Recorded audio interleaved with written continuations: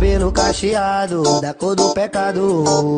Hoje eu acordei meio bolado e ainda estou no quarto, olhando seu retrato. Lembrando do nosso amor do passado. Beijos e abraços, carícias e amassos. Foi muito lindo, tenho que contar um relato. Nós dois pelados, dentro do carro, o vidro fechado e